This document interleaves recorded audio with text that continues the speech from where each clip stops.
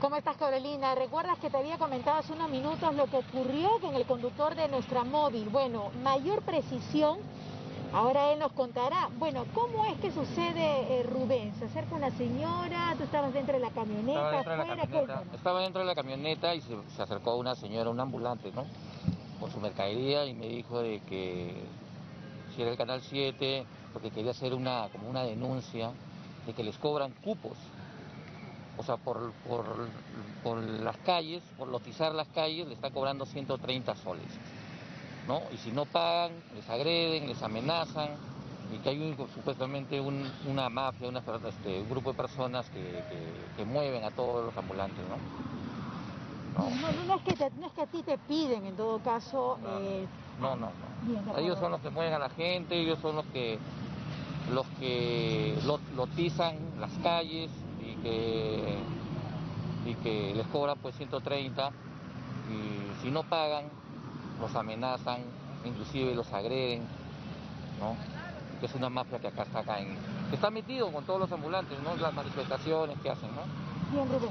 Ahí escuchábamos, este, Carolina, eh, lo que viene ocurriendo. Eso ha sido muy temprano, hay que tener en cuenta que hemos estado minutos antes de las 4 de la mañana, pero así como a Rubén se le han acercado, porque nosotros hemos intentado eh, preguntar a los comerciantes, a ver si nos confirman ello, pero lo único que nos han dicho es que lo que sí se está cobrando es la limpieza. Se está cobrando un sol por día para que se pueda realizar la limpieza.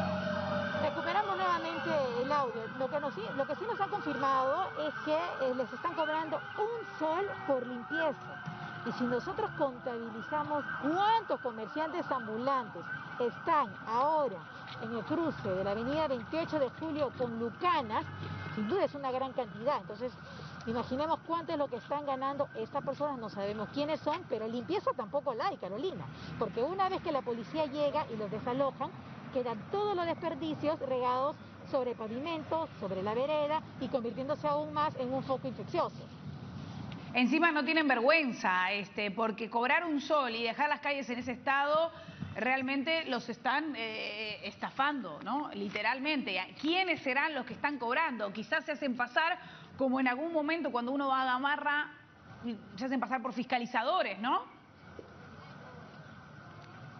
Sí, Carolina, y sería muy importante y vamos a estar nosotros investigando sin duda qué tan cierto Sí. es este cobro de 130 soles, porque los comerciantes, imagínate, no salen a trabajar porque no tienen ingresos Claro. y tener que pagar 130 soles y es un abuso para No, ellos, y, no y- contra ellos. y públicamente nadie lo va a decir. Sofi, muchas gracias. Por miedo, Victoria claro que sí, gracias decir, Sofía. Mico, ¿no? El modus operandi está clarísimo, ¿no? Mm. Cobrarle a algunos que, que aparentemente tienen camioneta o que pueden llevar más mercadería, qué sé yo, ¿no? Lo- lograr el- la cifra gruesa, digamos, y cobrarle un sol, ¿no? Por, por, por el espacio, ¿no? No, un sol para limpiar, para limpiar. Y cuando vemos las zonas están totalmente sucias, o sea.